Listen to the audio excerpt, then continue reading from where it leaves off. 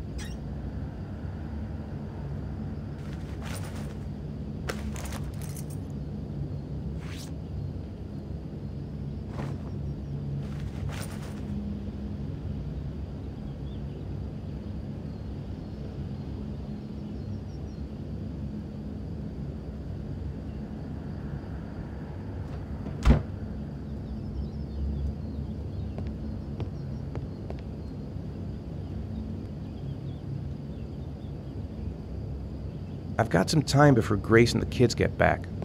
Better get some work done.